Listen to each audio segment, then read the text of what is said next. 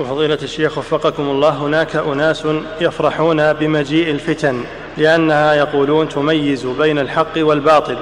فما صحة هذا المنهج؟ يعني يفرح بالفتن وهو معصوم.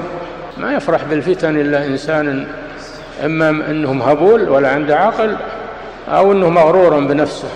لا ما يفرح بالفتن أحد بل الإنسان يستعيذ من الفتن. هنا.